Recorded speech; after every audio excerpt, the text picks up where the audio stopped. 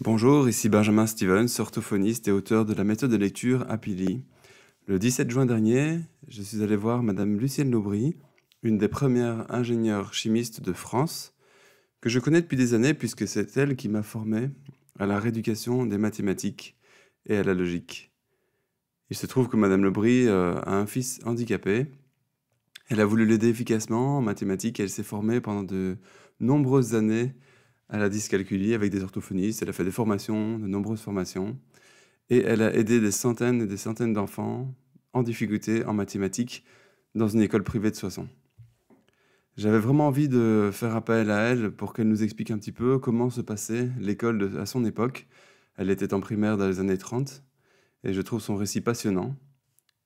Donc euh, je pense qu'il y a des choses qu'on pourrait mettre en place. Tout n'est pas à remettre en place évidemment, mais il y a des bonnes choses, je pense, qui ont été un petit peu perdues. Et j'espère que son récit vous intéressera. Alors voilà, je me présente, j'ai 92 ans, j'ai fait un long chemin. Donc vous êtes Madame Laubry, c'est Je ça? suis Madame Laubry, j'étais Lucienne Desbruyères. Euh, mes parents euh, habitaient à la campagne et mon père était meunier et le moulin n'était pas là où on habitait. Donc on, on a- on était dans une très grande maison, euh, très accueillante, avec beaucoup de verdure.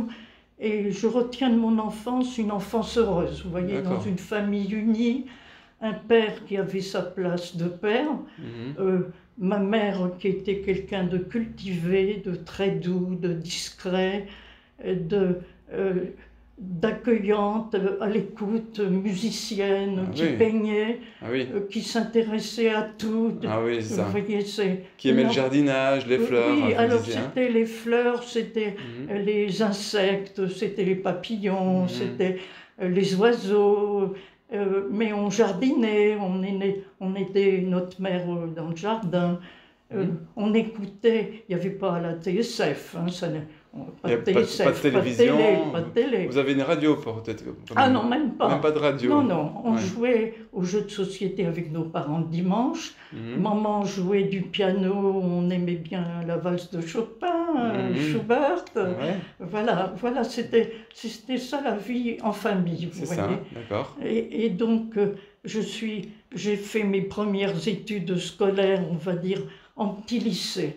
En petit lycée, On, on appelait ça c'est-à-dire comme ça la avant à 11e l'époque. et la 10e à l'époque de, de l'apprentissage de la lecture. C'est ça. Et ensuite, je suis allée dans l'école communale de notre village, Mhm. dans l'école laïque publique, euh, Mhm. comme qu'on disait communale, Mhm. euh, qui n'était pas mixte, disons. Il y avait la maîtresse pour les filles, le maître pour Ah, les garçons. D'accord. C'était des classes euh, séparées? Ah, tout à fait. Ah, Ah, pas rien du tout commun. D'accord, Pas dans les mêmes bâtiments, pas au même endroit. d'accord. Ah non, toi, Ah, c'était séparé, d'accord. tout. À fait. Et c'était comme ça dans toutes les écoles de Dans France toutes les écoles.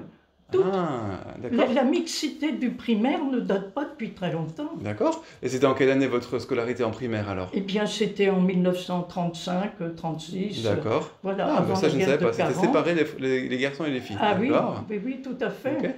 Oui, oui. Et, Et, euh, et donc, euh, la maîtresse, moi, j'avais une maîtresse. hein. c'est ça. Voilà. Forcément, c'était une maîtresse pour les filles et un maître pour les garçons? Toujours. Toujours. Il n'y avait pas de, de maître pour les filles. C'est ça, ça n'existait pas. Ah, C'était, euh, disons, vous voyez, c'était très différent. Ah, vous ne saviez pas Ça, je ne savais pas. Oui, non, ça, c'est, évident pour moi. hein. Voilà, c'est ça, exactement. C'est évident. Oui. Et donc vous avez fait vos années primaires dans Alors une les école. primaires dans l'école du village, et puis ensuite, parce que euh, dans l'école du village, ça allait jusqu'au ce qu'on appelait au-dessus du cours moyen le cours supérieur. C'était les élèves qui passaient le certificat d'études et qui ne pouvaient rentrer, on ne rentrait en sixième qu'à 12 ans, on ne pouvait pas y rentrer avant. Ça. Un examen d'entrée en sixième. C'est ça. Qui était le certificat d'études Il fallait le certificat d'études et un examen pour entrer en sixième. Et le certificat d'études, on dit qu'il était, de très bon niveau. Ah, c'est ce qu'on dit toujours. c'est le brevet maintenant. hein. C'est ça, oui, facilement. Ah, ah oui, brevet les- maintenant. À l'époque, c'était. Et, et les élèves qui n'allaient pas plus loin, il y en avait très peu qui allaient en sixième. Ah oui. Dans une école euh, communale, parmi les filles, l'année où je suis entrée en sixième, j'étais toute seule.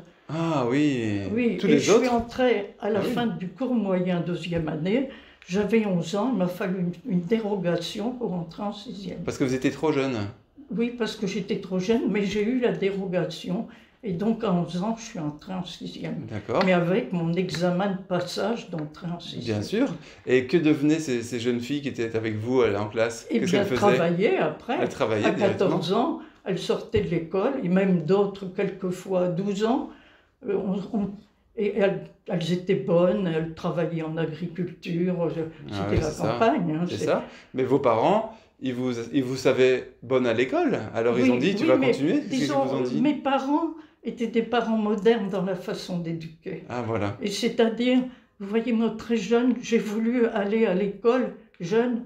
Et à 5 ans, j'étais en 11e au petit collège parce qu'on ne pouvait pas me prendre à l'école communale. Ah oui, C'est pour ça que j'avais de l'avance. C'est ça. C'est pour ça que j'avais de l'avance. Mais mes parents, si on avait des désirs qui n'étaient pas déraisonnables, ils, acceptaient. C'est ça. Hein, Et, ils étaient à notre écoute. Je C'est dire j'avais des parents modernes dans l'éducation. C'est ça, voilà, exactement, tout à fait. On n'a jamais été brimé, je n'ai jamais reçu une gifle, Ah ni de mon père, j'en méritais peut-être, je ne sais pas, mais, mais la, la, la punition, c'était de désherber une allée dans le jardin. c'est ça, voilà, c'est ça. C'était de trier des lentilles qui avaient des cailloux. Ah oui, c'est ça, oui, voyez c'est ça. oui, mais vous voyez, c'était sous cette forme. Oui, vous avez une très bonne éducation, je Oui. pense. Très bienveillante et encourageante. fait. et. Vous avez appris la culture, la musique, etc. Forcément. ma, et ma mère, je vous dis, était très cultivée. Hein, Ouais. Très cultivée, je l'écoutais parce que j'apprenais toujours des choses, Ça, c'est super. beaucoup avec Donc vous avez eu de la chance d'avoir des J'ai eu parents comme chance et je vais dire, j'ai eu une enfance très heureuse et je pense que c'était le socle, disons, de ma vie, Bien sûr, un bon départ. bien sûr, c'est tellement bon important l'enfance. Hein. Et en sixième, donc, je- c'était la guerre, là, c'était en 40 que je suis entrée en Ah, c'est en sixième. sixième, d'accord Et j'étais pensionnaire puisqu'on habitait à la campagne. Ouais. J'étais interne. J'aimais beaucoup l'internat. Alors que vous n'aviez que 11 ans. Oui, je n'avais que Ah 11 oui, ans, mais ouais. j'aimais l'internat. Ah, vous aimez ça J'aimais l'internat parce que c'était la communauté où on partageait des choses ensemble. on- Je retournais volontiers en vacances dans ma famille, bien sûr, mais l'internat me convenait très bien. Et donc j'ai fait mes études secondaires euh, en internat dans le collège de la ville de Soissons. Euh, j'ai une, un parcours euh, scolaire qui a eu des bas, euh, des difficultés en calcul, en mathématiques, on va dire en quatrième, et qui m'ont fait souffrir et qui ont déterminé beaucoup de choses dans ma vie ensuite. J'étais dans une section littéraire classique avec euh, le latin, des langues vivantes, et jusqu'au bout, euh, jusqu'en Matélème. Donc j'étais dans une, des sections littéraires, mais en parcours, à la fin de la quatrième, j'avais tant de difficultés en mathématiques que j'ai pris des leçons particulières, non Mhm. pas avec mon professeur que je ne comprenais pas, ça n'était d'ailleurs pas permis d'aller à l'extérieur, la déontologie ne le permettait pas, mais j'ai eu un professeur merveilleux euh, qui m'a éclairé beaucoup. Ça a été une clé, disons, euh, qui a qui m'a ouvert mes, mes possibilités de capter ce qu'on me, ce qu'on me transmettait en Oui. mathématiques. Mais et ce professeur était un homme? C'était un Parce qu'au homme. collège, là, par Parce contre, qu'au c'était- collège, il y avait des pareil. professeurs hommes et femmes. c'est ça. On avait des licenciés, des agrégés, Mhm. des bons et des moins bons. Bien sûr. Mais j'ai eu la chance d'avoir quand même de très bons professeurs. Et notamment ce professeur qui Ce n'était pas. professeur que Oui. j'ai eu, eu la chance d'avoir en seconde, en Ah, première, vous l'avez eu par la suite. Hein. où on, passait à ce moment-là en première le baccalauréat première partie. L'écrit se passait à l'an Mhm. euh, dans les matières principales et l'oral qui était obligatoire, c'était pas du rattrapage, dans toutes les matières et du programme entier parce qu'il avait été vu en classe et ça se passait à Lille. Ah oui, ah d'accord, vous allez loin. Et on ne pouvait Ouais. aller en terminale que quand on avait validé tout ça. Sinon, ça. ben, c'était le redoublement. Le redoublement était d'ailleurs quelque chose qui se faisait lorsque l'élève n'avait pas la moyenne. hein. C'est- ça. Beaucoup se retrouvaient avec des redoublements dans leur parcours. Absolument. Je me suis retrouvée donc avec mon professeur qui m'encourageait en mathématiques. Et à ce moment-là, j'ai bifurqué en mathélème, ce qui voulait dire c'était la, la, le, le deuxième baccalauréat dans la section scientifique. D'accord. Donc vous allez plus vers un bac scientifique. été, Ouais. euh, disons, euh, transmise là. euh, j'ai euh, transbordée, on va dire, et je craignais bien de ne pas pouvoir suivre. Ouais. Mais finalement, j'ai fait une, une année de terminale qui se terminait là d'ailleurs en mixité, Ah, parce qu'on était tellement peu nombreux. Dans ma classe de Matélème, il y avait quatre garçons et j'étais la seule fille. ah oui, ah, bien sûr. Euh, très peu nombreux parce que l'année d'avant, il y avait 15 garçons et une fille. Les 15 garçons ont été recalés et la seule fille était reçue. Parce qu'il n'y avait pas de notes de contrôle continu de l'année pour le baccalauréat. Ah oui, C'était les notes du baccalauréat. Et les 15 garçons, avec le rattrapage possible en septembre, cette année-là, ils ont tous été reçus. et Il y en a même un qui a fait Polytechnique. ah Oui, oui. mais- ce qui veut dire que le bac, on ne le donnait pas. Ah non, Et, et c'était vraiment euh, un, un passage quelquefois difficile. C'est ça. La plupart d'ailleurs des élèves euh, n'allaient pas plus loin, très peu faisaient des études supérieures. Bien sûr. Oui, même les garçons Même qui avaient les fait un bac scientifique, euh, ils, ils- trouvaient, ils trouvaient un emploi euh, facile, les emplois étaient faciles. Bien hein. sûr. Dès qu'on avait un, bac à l'époque, c'était Un, un, bon, un bac, bon bagage. c'était- un diplôme qui, qui avait de la valeur C'est et, ça. et, que, et l'emploi, euh, ça, ça, ça se situait tout juste. Je finissais mes études secondaires en 1946 et là donc euh, c'était la fin de la guerre, il y avait des emplois partout. En plus, bah oui, c'était les- Ah, le début des 30 glorieuses. Oui, c'était le ça. début des Grandes Glorieuses. C'est ça. Et alors Mm. là, eh bien, j'ai pris mon envol en 1946, après mon bac.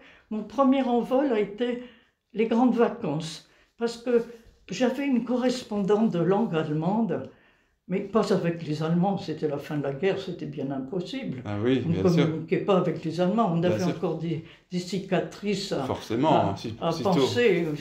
C'était très dur. Et donc, pour la langue allemande, j'avais une correspondante à Zurich, en Suisse alémanique, Ah, Suisse. en langue allemande, et j'ai eu la chance d'être invitée par son lycée, euh, tout près de Davos, dans les Grisons, et j'ai passé Ah. l'été avec un lycée euh, suisse euh, Ah en oui. langue allemande, Ah, et, là j'avais une grande chance. C'était pas Erasmus, oui, c'est ça. c'était- l'Erasmus de l'époque. c'était- d'ailleurs très exceptionnel, hein, j'avais de la chance. Vous avez de la chance. Et la vos chance. parents, ils ont dit, il n'y a pas de problème. Ah, pas de problème, aller, je suis euh, partie en Suisse, euh, comme un- ça, toute seule, par êtes en train. ah ouais. Je suis arrivée à Zurich. C'était un grand voyage pour l'époque déjà, pour vous, C'était un, grand- c'était un envol. Ah j'ai eu beaucoup de relations en Suisse, beaucoup d'attaches, euh, Mhm. où c'était le Schweizerdeutsch, c'était loin, le, le langage parlé n'était pas l'allemand, mais l'apprentissage était l'allemand. Je les aidais dans leurs travaux, dans leur travail de, de Molière et Racine, euh, j'étais j'étais oui. leur soutien scolaire. Ah oui, c'est amusant ça. Et vous avez un, un assez bon niveau d'allemand pour parler avec eux? Euh, C'est-à-dire que, je- non, mon niveau n'était pas là parce qu'on apprenait les langues vivantes sous une forme très, euh, très, très archaïque. Oui. On apprenait les textes anciens. Ah oui, oui, oui. L'allemand, on l'écrivait en, en écriture gothique. Ah oui, oulala. Mais, oui, vous voyez, Ah c'était- oui, oui, c'est sûr que. mais D'accord. vous voyez, il y, a, il y a tout un, toute une évolution. Mais bien sûr, c'est ça qui est passionnant, c'est passionnant.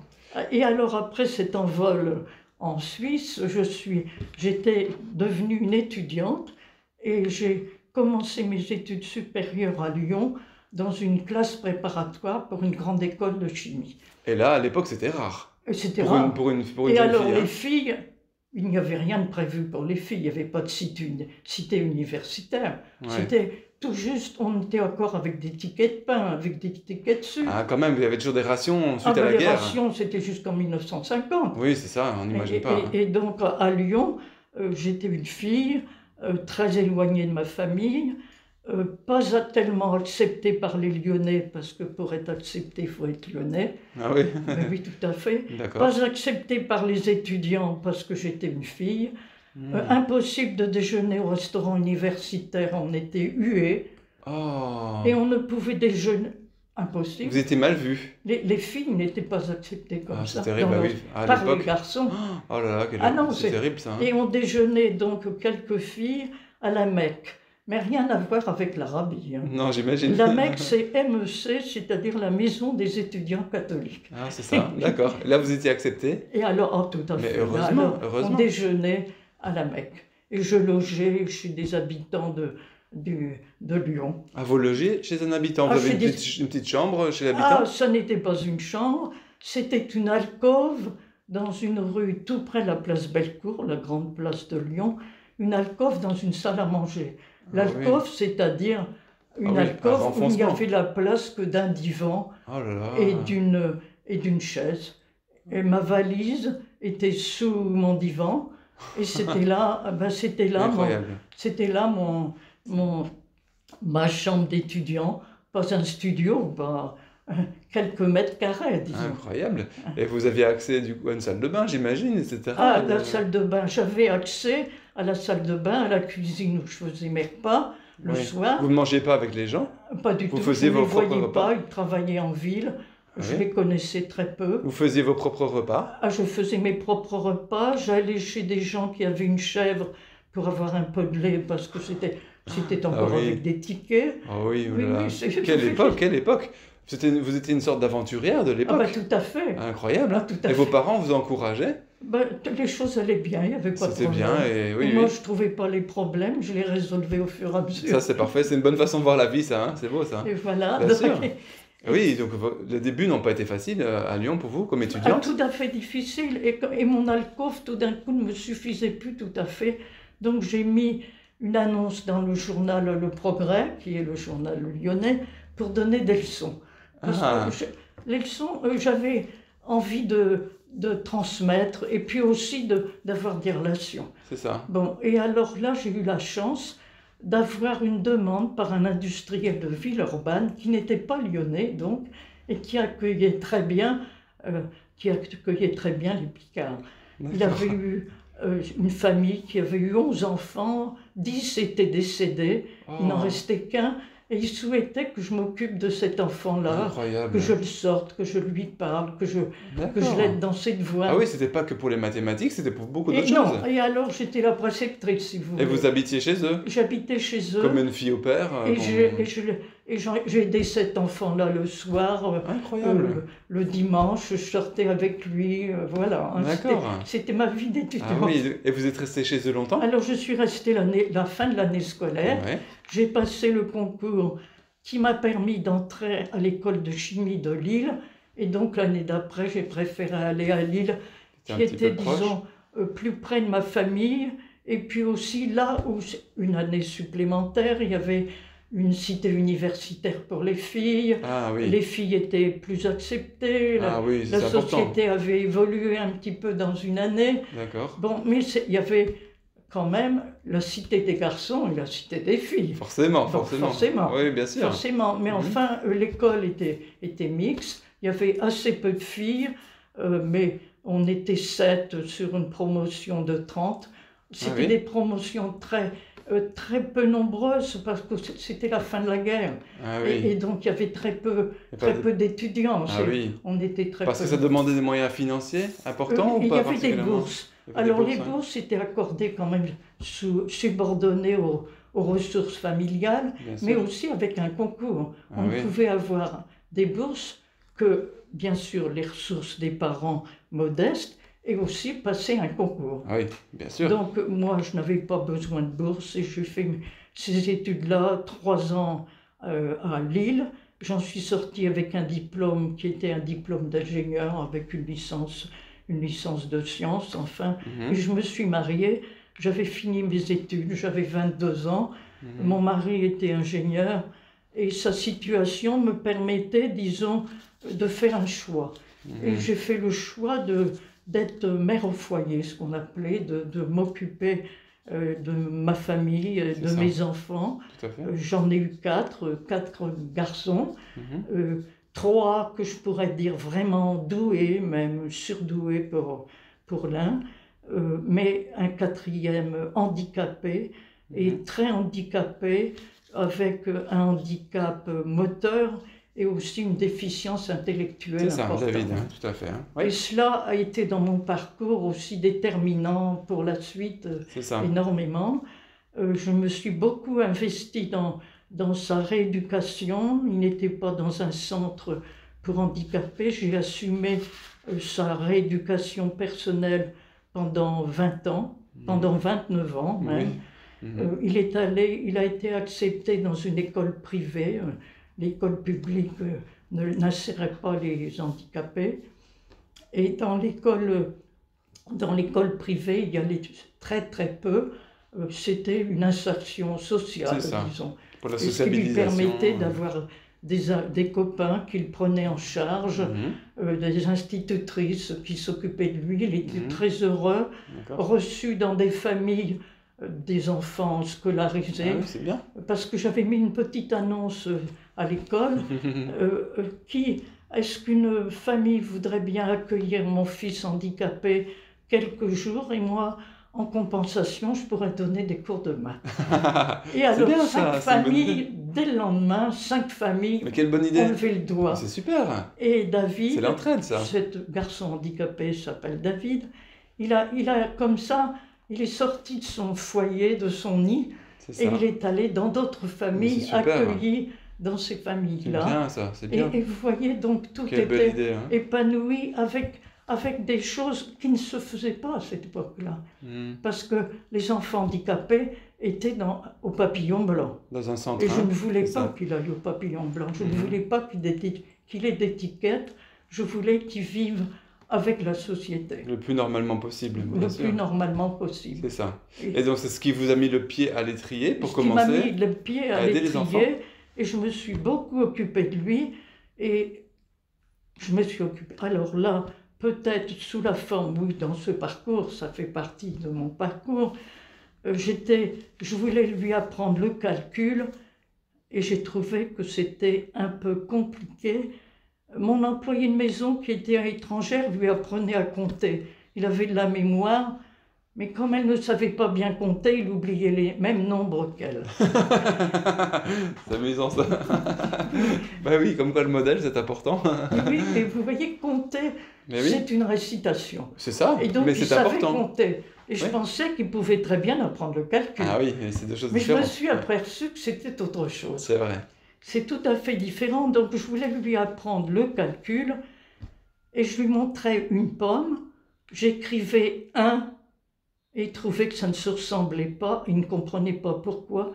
J'écrivais un pour une pomme, mais un aussi euh, si c'était un livre, si c'était un doigt. Mhm. Et j'essayais de lui faire passer. Je n'avais aucun moyen. J'ai demandé à l'orthophoniste. Il avait une orthophoniste qui essayait de lui apprendre à parler. Et l'orthophoniste m'a dit euh, Dans mon parcours d'orthophoniste, je n'ai eu que quelques heures de rééducation du calcul. Je ne peux pas le prendre en charge. Mhm. Ça ne se faisait pas. Tout à fait. Mais actuellement, elle dit il se passe un séminaire à Pont-à-Mousson pour les orthophonistes pour la rééducation du calcul. Je vous passe ma carte, vous irez à ma place et vous me direz ce qui s'y Excellent. passe. Ah, c'est marrant. et j'y suis allée. excellent, excellent. Et j'y suis allée avec mon fils handicapé. Ah ouais. Et là, j'ai entendu des conférences, mais je me suis dit, mais le calcul, mais c'est extrêmement compliqué. Bien sûr. Le départ est bien plus compliqué que, le- les, les- que les équations du second degré ou les, les, les fonctions, les fonctions euh, de tout ce qu'on veut, Bien analytiques. euh, alors là, j'ai trouvé euh, des conférencières à qui je voulais confier David. Mais c'était près de Nancy. L'une était parisienne, m'a dit bien je veux bien m'occuper de votre fils, mais euh, j'habite à Paris. J'ai dit pas de problème, je l'emmène à Paris. Ce Ah que oui. j'ai fait pendant 17 ans. Vous mais je Paris. Ah ouais. Mais cet orthophoniste m'a dit, mais vous pouvez suivre des ateliers avec nous, avec les orthophonistes. Bien sûr. Ce que j'ai fait pendant trois ans, les ateliers à Paris le week-end, où Mhm. j'allais faire des ateliers de rééducation du calcul qui étaient destinés à des orthophonistes. Mhm. Et donc là, je me suis formée. Bien sûr. Pendant 17 ans où j'ai emmené David à Paris chez l'orthophoniste, j'assistais à la rééducation, je prenais des notes. Ah oui. Et là, j'apprenais bien autant que mon fils et je faisais des progrès en même temps que lui. C'est merveilleux.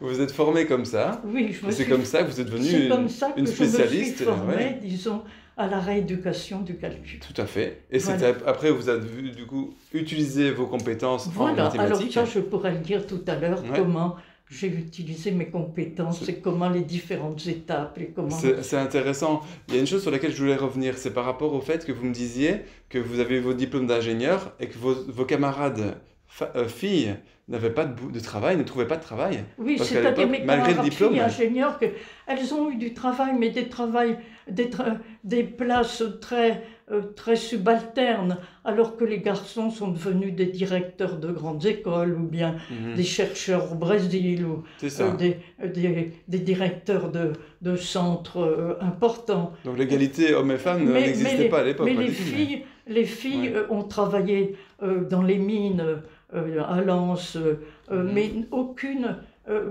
une a ouvert l'école hôtelière du Touquet, par exemple. Ah oui. Bon, Ah oui, euh, bon mais, c'était l'école hôtelière, c'était rien à voir avec Ah, la chimie bah oui, c'est ça, directement. oui, tout à fait. Bon. Euh, D'autres ont été, euh, ont travaillé dans l'industrie, mais mais n'étaient pas des postes de direction. C'est ça. Bah, bah non, à l'époque, C'était c'était des pas postes possible. d'ingénieurs, voilà. C'est ça, c'est ça. Ça, ça a bien évolué. Pour le coup, c'était, il y a une belle évolution par rapport à ça quand même. Oui, hein. tout à fait. Mais, super. mais vous voyez, ce qu'on en dit maintenant, il y a une grande vérité là-dedans, où vraiment pour une femme, c'est très difficile de percer, euh, Mhm. ce- de percer là où les hommes maintiennent les rênes. hein. Donc, je disais, ce serait bien que vous me nous reparliez de, de votre époque à l'école en primaire. Oui. Comment est-ce qu'on apprenait les fondamentaux, la lecture, l'écriture, l'orthographe Voilà. et les mathématiques? Ça, c'est intéressant. Parce que ça, je pense que ça intéressera beaucoup de monde de voir la différence bah, de, de la façon de faire à l'époque, qui a beaucoup sûr. changé, hein, ce que vous me disiez. Parce que ce que je dois dire, moi je vais vous parler de l'école, dans le fond, dans mon cours moyen, où j'étais à l'école communale, à la campagne, C'est ça mais dans une classe qui avait tous les niveaux, Oui. sauf l'apprentissage de la lecture, qui Ah, était le cours préparatoire, c'est une classe spéciale. Ah, c'est une classe spéciale. mais l'autre, l'autre classe unique, avec tous les niveaux, Mhm, et tous organisés, on était une quarantaine, mhm.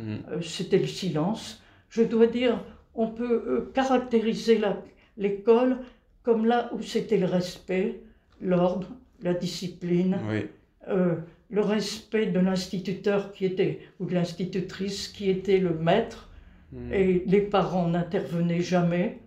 Il n'y avait pas de relation entre les parents et l'instituteur, Mhm. sauf le carnet de notes. C'est ça, Voilà. Et le carnet de notes était révélateur de ce qui se passait à l'école. c'est ça, exactement. Ça, ça a beaucoup changé. Oui. Et euh, je vais dire aussi, euh, ce qui était très important, c'était la politesse, mhm, c'était l'exactitude, mhm. euh, c'était l'écriture. Euh, On en parlait de l'écriture, l'importance de l'écriture quand on voit les cahiers. de- Voilà, Mais on en oui. parlait tout à l'heure. là, comme on se tient pour écrire, Voilà. parce qu'on écrivait avec un porte-plume, avec une plume, Oui, qu'on trempait dans l'encre, on avait un buvard, oui. Et on faisait des pleins et des déliés. Donc la, la position était La- très importante. La position, euh, on écrivait que de la main droite. Vous voyez, tout était euh, quelque chose de très ordonné et pas ça. laissé à la liberté de chacun. Bien sûr. Mhm. Et alors l'apprentissage se faisait euh, au cours moyen euh, et dans les autres, les autres niveaux. C'était l'apprentissage des matières importantes le matin C'est ça. et les, mat- les autres matières l'après-midi. Vous commencez par quoi le matin? Alors le matin, on commençait par une phrase de morale qui était écrite au tableau, qu'on lisait, et ça allait être notre ligne d'écriture, la, la phrase de morale. La ligne à, comment... à écrire au départ. Vous deviez Oui, l'écrire la Voilà, phrase. c'était disons le- l'entrée en matière. C'est ça. Vous commencez par écrire en une phrase. matière, c'était la phrase de morale. Tous les jours, vous Tous écrivez les la phrase. jours, c'était la phrase de morale. Ouais. Et on continuait par des opérations qui étaient préparées au tableau, qu'on faisait rapidement, qu'un élève allait corriger au tableau noir avec la craie blanche et qu'on effaçait avec une éponge qui faisait la poussière. c'est ça. Et oui, Et- donc c'était le rituel du matin. Et c'était ça ou bien du calcul mental, Ouais. alors rapide, que on écrivait individuellement sur une petite ardoise en carton, Mhm. avec un crayon d'ardoise, on effaçait avec une petite éponge qui commençait à sentir mauvais, elle était mouillée, et donc on, écrivait rapidement le résultat de sur la votre ardoise. question, et on montrait l'ardoise, c'était ou les opérations ou le calcul mental. D'accord. Voilà, ça, mettait, euh, ça nous mettait en, en dans, dans la situation de continuer la matinée. C'est ça. Et la matinée ensuite, c'était euh, les problèmes, une explication nouvelle chaque jour avec euh, une formule, par exemple euh, le prix de revient, alors la formule PR égale PA plus F, ça Mhm. voulait dire prix de revient, c'est égal au prix d'achat plus les frais. c'est ça. Alors il Ouais. fallait apprendre la formule Mhm. et on allait avoir à l'utiliser dans le problème. C'est ça. Vous voyez, c'était et le problème. très concret. Et tous les jours, il y avait une progression dans les formules, dans, dans le dans la dans le l'apprentissage des connaissances en Et mathématiques. tous les jours, vous aviez un problème à à tous résoudre les jours un problème. Et tous les jours, des opérations Et à tous les Addition, jours. soustraction, multiplication, après, le toutes les problème- opérations. Après le problème, c'était la récréation. Oui, Alors la récréation, euh, on était les filles, donc on jouait à la marelle, au ballon, à la Mhm. ronde. Elle durait combien de temps la récréation? La récréation peut-être un quart d'heure. Ouais, ça. Voilà, et on rentrait en rang, en rang par deux, euh, en silence, en répétant en chœur, c'était plus le silence ensuite, on répétait une table de multiplication, on passait devant la maîtresse en la saluant, et on ne pouvait Oui. s'asseoir en classe que quand elle nous avait invités à nous asseoir. Mais ce que vous dites est très intéressant. C'est-à-dire que vous récitiez donc les tables de multiplication en rang Oui, comme une chanson, comme une chanson. comme la Marseillaise ou Voilà. comme une poésie, etc. Voilà, mais c'était la, Et table de Et multiplication. tout le monde le, le Tout faisait. le monde ensemble en chœur.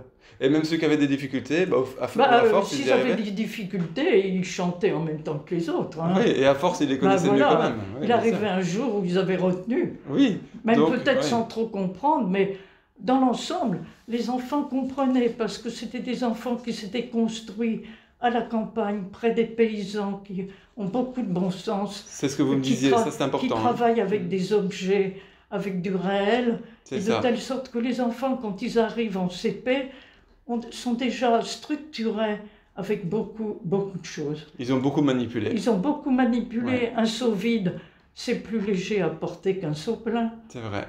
Bon. Ils ont marché pour Mais aller à oui. l'école? Ils Aller avec sa mère acheter un, kilo, un kilo de beurre, mais on regarde la balance. On la Et voit la balance. Et on voit la balance. Ah si le ça, ça aide, hein. Il a bien pesé son kilo, pas plus, euh, Mhm. et surtout pas moins. C'est ça. Bon, vous voyez, Mais oui, mais ça, ça aide beaucoup par rapport aux enfants ne de se maintenant. fait plus maintenant. Ben oui, malheureusement. Voilà. Mais ça, c'était une grande aide que vous aviez visuelle. Et puis, on parlait du fait d'aller à l'école à pied. Mais oui, Vous me disiez, je vais aller le matin à les l'école. allers et retours se faisaient à pied. Voilà, Et moi, par exemple, j'avais presque 5 km à pied dans la journée. c'est ça. Parce qu'il n'y avait pas de transport scolaire, il n'y avait pas de cantine scolaire. Ouais, On retournait dans nos familles déjeuner, c'est ça. on n'était pas accompagné par les parents et on se débrouillait. Et vous saviez, du coup, la distance que vous La marchiez? distance, alors on savait exactement combien de temps on mettait, combien de pas entre deux bornes hectométriques, ce qui était une borne kilométrique. et- Mais ça, ça aide beaucoup, ça. Mais oui, Pour les distances. mais absolument. Les enfants de maintenant, ils ne peuvent le, pas, ils n'ont pas de repère. kilomètre, le kilomètre, on savait ce qu'était le kilomètre. Exactement. Et maintenant, ils n'ont plus le repère parce qu'ils n'ont plus sûr. marché le kilomètre Et, ou et ils ont dans marché, la classe, si vous voulez savoir comment était la classe, il y avait une bibliothèque avec une balance Roberval, Ah avec- fameuse les balance. poids. Bah oui. il y avait des mesures de capacité en étain, Mhm. il y avait le litre, le demi-litre, le quart de litre. Et vous pouviez manipuler ces, ces ah bien, quantités bien sûr, on oui. mettait de l'eau dedans. Ah, Ça, c'est super. Bon, et il y ça, avait un mètre, c'était une grande baguette en bois qui faisait exactement un mètre, Exactement. et on savait ce qu'était un Mais mètre. voilà, mais c'est la base. Et la règle qu'on avait, c'était un double décimètre. Il Oui. était toujours double décimètre. Oui. Et on savait que le double décimètre faisait 20 cm. Et alors on savait ce qu'était un décimètre. Ben voilà, vous le saviez parce que vous l'aviez eu dans les savait mains. avant qu'on nous l'apprenne, on, avait notre règle dans Vous les l'avez mains. déjà vu, vu. Donc, bah oui, c'est ça, c'est Oui, ça. Mais ça, c'est du, c'est du bon sens auquel je pense on doit revenir oui, dans les classes oui. avant, la- avant le CP, moi je pense. Apprendre aux enfants, ou en tout cas au CP, CE1, etc. Oui. Ça, ça serait très positif pour les enfants. et je vais dire que tout ça ne coûte rien. Oui, non, c'est pas du ça ne coûte cher. rien. Non, On sûr. parle beaucoup de budget, mais les budgets, je ne sais pas s'il y avait un budget très important, parce que d'ailleurs, l'entretien de la classe, il n'y avait pas un employé communal. C'était deux élèves de service pour la fenêtre, pour la semaine, Ah oui, c'est ça. qui entretenaient la classe, qui distribuaient les cahiers, qui préparaient le feu. Il y avait un gros poêle, on mettait du bois dedans, Mhm. euh, il faisait très froid l'hiver et donc il n'y avait pas le chauffage central. Bien sûr. Et c'était l'élève qui préparait le feu. C'est ça. Bon. Oui. Et, Mais c'est, bon, c'est bien de et- faire ça. et- et c'était l'élève qui mettait le- l'encre dans les encriers. Ouais, Bon, il n'y a pas d'employé pour balayer. c'est ça. Donc vous voyez le budget, il n'y avait pas besoin de C'est budget. vrai, oui, c'est les enfants qui le faisaient. C'était les enfants qui le Ah faisaient. ça c'est inimaginable maintenant, mais, mais c'était bien pour eux parce qu'ils apprenaient à, manipuler la dextérité. mais verser bien dans les encriers, naturellement. ça servait du Tout, bon. tout ça se Et les quantités finalement versées, ça, c'est- on apprend des choses. tout ça se faisait, vous voyez. Les corvées sont là pour apprendre finalement. Et, et alors que ça. peut-être qu'on a privé beaucoup les enfants de toutes ces manipulations, Bien sûr. Et ils sont devenus euh, numérisés eux-mêmes presque, simplement toucher des touches, Bien taper sur une touche. Mais du coup, on, on expérimente moins on, et on, on a moins conscience des choses. Et alors on demande des enfants, il n'y avait pas de classe maternelle, ça n'existait pas. Ah oui. Donc les enfants n'étaient pas scolarisés avant l'entrée au CP. Avant 5 ans ou 6 ans. C'est ça, ils restaient à la maison. Ils restaient à la maison, ils étaient à la maison à jouer chez eux, Mhm. avec les cailloux, avec, euh, avec Mhm. le sable, avec l'eau des flaques d'eau, avec tout ce Mhm. qu'il y avait sous la main. Avec ce qu'ils trouvaient, quoi. Il y hein. avait très peu de jouets. Les- jouets, c'était ce qu'on avait à Noël. Bien sûr. Moi, l'un des premiers Noël que j'ai eu, pas peut-être le premier, mais quand j'allais à l'école, le, le cadeau de Noël, ça a été mon sac de classe. Que j'ai Ah en bon cuir, en très beau cuir. Et vous étiez heureuse de ça De Très heureuse, Ah oui. parce que je l'ai conservé jusqu'à la fin de mes études. Ah oui. Ah, je l'ai encore. Ah oui. Quand oui. il était un peu usé, le cordonnière mettait une pièce en cuir. Bien sûr. Bah oui, Mais- Mais il forcément. était solide. Bah oui, c'était fait pour durer. C'était pas, la fait pour durer. Bien sûr, bien Et, sûr. et le, cla- et le, le sac ne sera jamais chargé avec des kilos dans les, dans les, les classes primaires, parce qu'on aura emmené à l'école pour le soir à la maison euh, que euh, les leçons du soir et euh, un, un petit exercice de français, un, un verbe à conjuguer, C'est ça. mais très peu, et donc on ne charriait pas des kilos, tout restait à l'école dans la case Oui, c'est ça. du bureau. Vos cartons n'étaient pas trop chargés, ça c'est important. Et après la récréation, quel était le programme alors Une fois que vous Alors, rentriez après en la récréation, c'était la dictée. Ah, Et il n'y avait pas d'autodictée. C'était impossible à penser qu'on ait vu le, le texte avant de l'écrire. Ah oui, c'est ça. Ce qu'il y a, c'est que c'était certainement très progressif. On n'apprenait pas des listes de mots. Ouais. Les mots avaient été vus dans une lecture, des mots très simples qui correspondaient à la vie quotidienne, qu'on comprenait. On, Mhm. devait, on comprenait les choses parce, qu'on nous les a- parce que tout ce qu'on nous proposait était simple Mhm. à, à notre compréhension. C'est ça. C'est Hein. des choses du quotidien. et donc de votre- le- ouais. les- la dictée, c'était surtout une dictée où ça nous demandait beaucoup de réflexion en grammaire, sur le verbe, sur les, les participes passés, mais il fallait réfléchir pour les écrire. On n'avait pas vu le texte retenu que là, il fallait mettre un S ou un E, Bien sûr. Donc, mais ça, vous avez une dictée tous les jours. hein. Euh, presque tous les jours. Ouais, c'est ça. Presque Ça, tous ouais, les jours. Forcément, ça. Et, et si la dictée n'était pas bonne, eh bien, il y avait les mots où il y avait une faute, étaient à copier dix fois. Ah oui, c'est ça. Était à copier, mais dans sa racine telle qu'on la trouve dans le dictionnaire, pas au féminin, pas, C'est ça, c'est pas, ça. au, pas au pluriel. Bien sûr. Bon, euh, Ouais. et avec une liste peut-être de mots de la même famille pour expliquer son écriture. Ça, c'est intéressant. Vous voyez, c'est l'étymologie ou la dérivation. bon. Et on avait à recopier ça, mais on était en retenue. Ah, Après la classe le soir, recopier ah. les mots qu'on avait. ça, c'était une punition, alors, quelque part. C'était une punition, mais oui, c'était une punition peut-être. Mais est-ce que les enfants en difficulté, du coup, ils devaient rester Non, souvent le mais- soir mais ou- ce- C'était pas vraiment pris comme une punition, c'était l'apprentissage. Ça faisait partie de l'apprentissage. J'ai pas l'impression que on se sentait puni. Vous voyez, on ça. apprenait, on était à l'école pour apprendre. C'est ça. Oui, Donc, d'accord.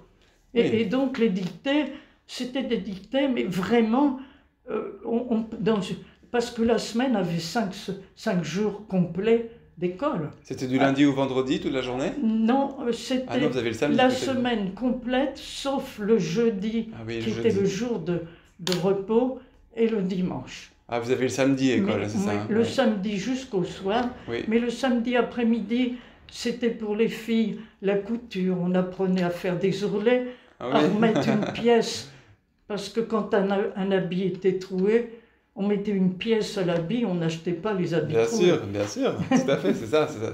C'est toute une époque, hein, c'est sûr. Et donc après la dictée Et du on matin, apprenait la puériculture Ah oui. également, l'enseignement ménager le samedi après-midi pour les filles. Ah, c'est ça, pour préparer à la vie de famille. euh, Oui, la vie, la vie de famille était La- prévue, vous voyez. c'est ça, c'était- était enseigné, hein ah, oui, oui, ça s'enseignait à l'école primaire. Mais déjà dès le primaire, d'accord. Oui.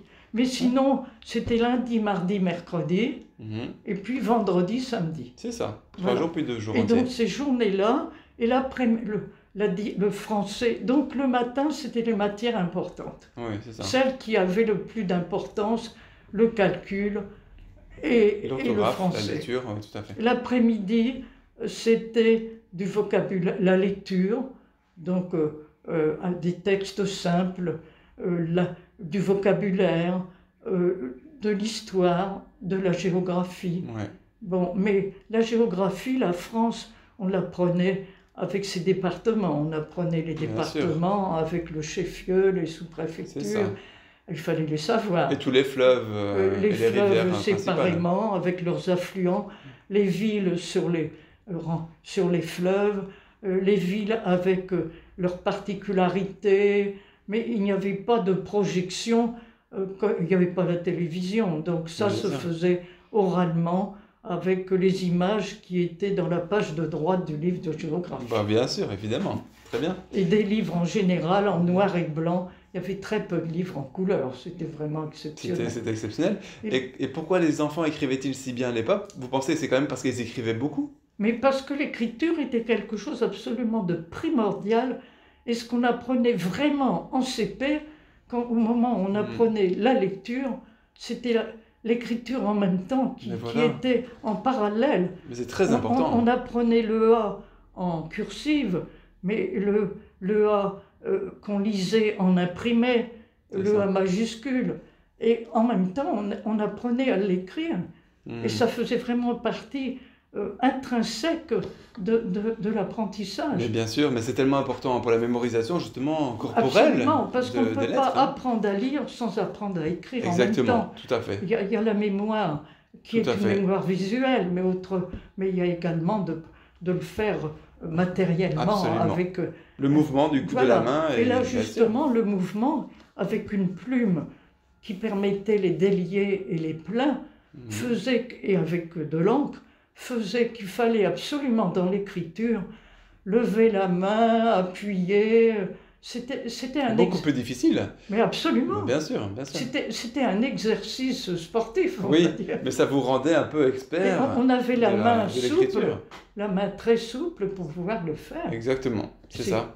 Et là maintenant, on voit que les enfants, on dit qu'ils ont la main molle. Parce qu'ils manipulent moins, Mais bien et sûr. du coup, ils n'ont pas la dextérité et la oui. force dans les mains oui. euh, pour écrire, Et justement. on n'avait pas de crayon bic, ça n'existait pas. hein. Oui. Donc c'était que des, que des plumes. c'était la plume ou le crayon de mine Crayon de mine, oui, avec quand même. le hein. taille-crayon et la gomme. C'est ça, vous avez Mais la enfin, ce qui n'était guère permis de gommer parce que les gommes, ça faisait, ça faisait sale et on Ah n'avait oui. pas le droit d'avoir un cahier sale. Ah ouais, c'est ça. Donc comme, il fallait bien écrire. Ah. Et comment faisaient les enfants en grosse difficulté d'écriture comment Ils ils Mais s'adaptaient je vais dire, je ne, je ne me souviens pas de personnes en difficulté d'écriture. D'accord. Tout le monde écrivait. Tout le monde écrivait comme tout le monde marchait. euh, L'ensemble des gens marchaient, mais ils écrivaient de la même façon. C'est ça, c'est ça. Ça faisait partie de la vie. En tout cas, une chose est sûre, c'est que les enfants, les gens de votre génération écrivent très très bien, pour la Mais oui. très grande majorité. Après, évidemment, on a notre écriture personnelle. ah bah, qui évolue l'écriture se personnalise, bien Mais, sûr. mais au départ, on écrit et, et l'écriture faisait vraiment partie intrinsèquement de l'enseignement. C'est ça, oui, c'est ça.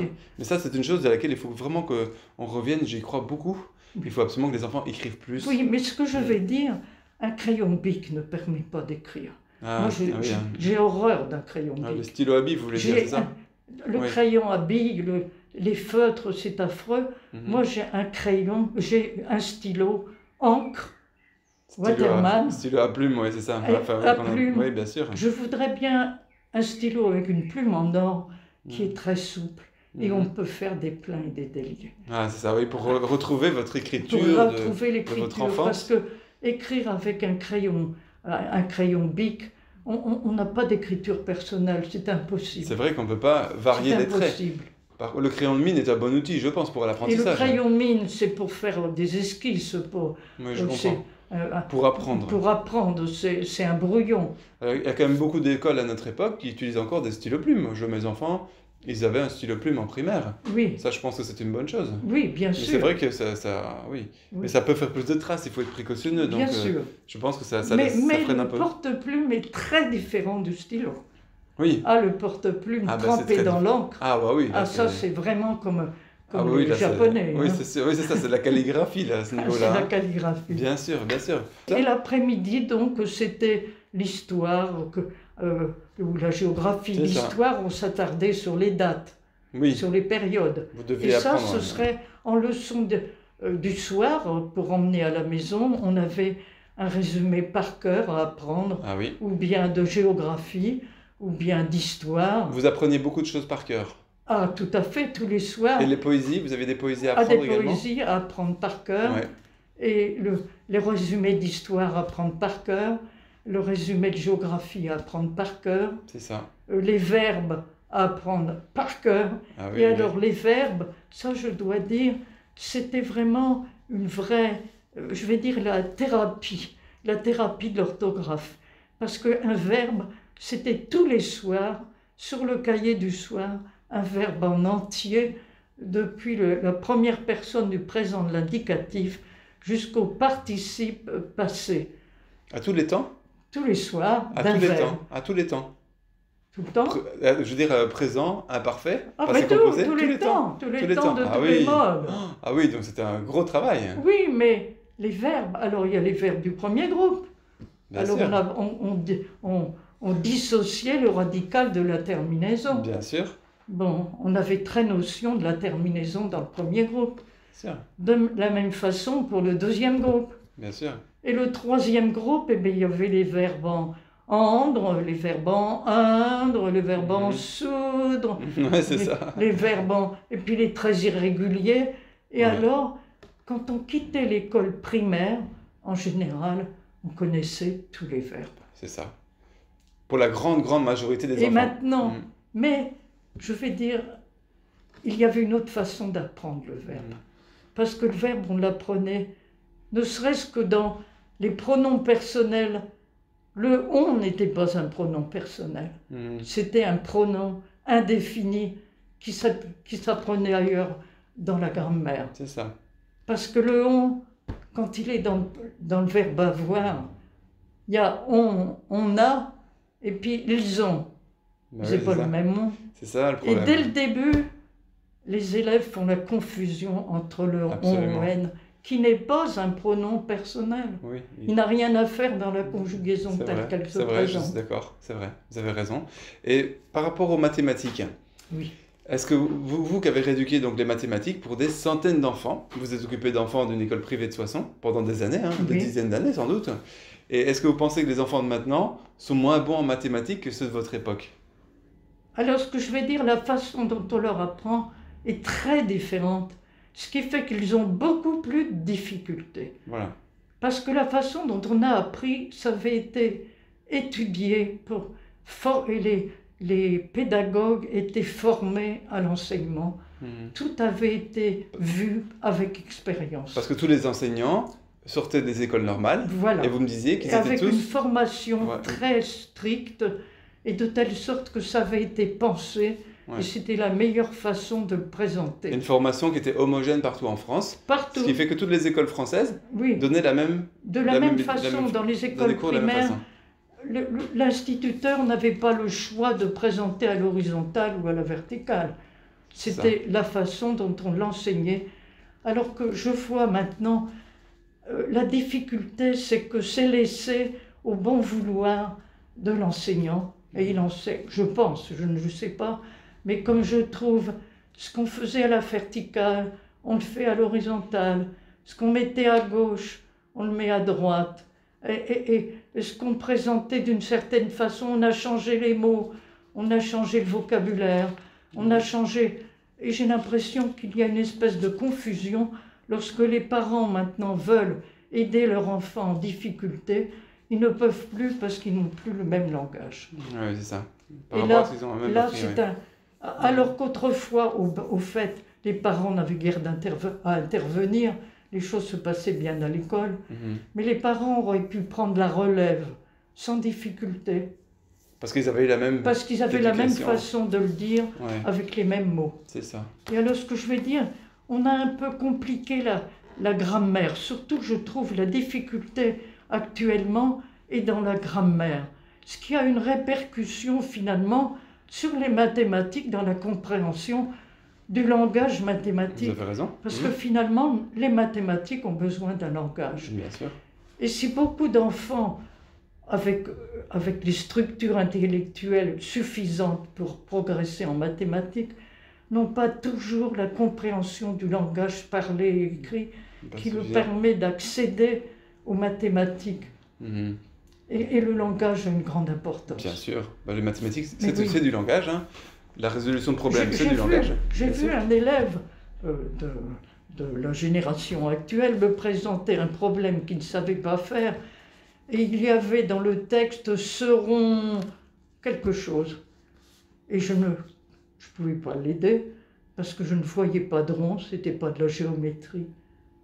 Mais elle avait écrit seront S-E-R-O-N-T.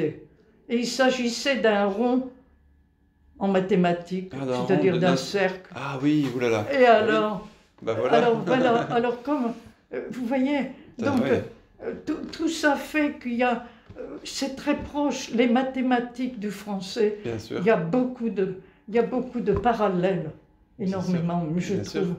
Alors que pendant très longtemps, j'ai pensé qu'il y avait mathématiques d'un côté et français de l'autre. Eh Mhm. bien, je ne crois pas. Mhm. Parce que je pense que d'ailleurs même le signe opératoire dans une opération, c'est le verbe de la phrase. C'est ça. C'est l'action. C'est ce la passe. dynamique. Tout à fait. C'est la dynamique.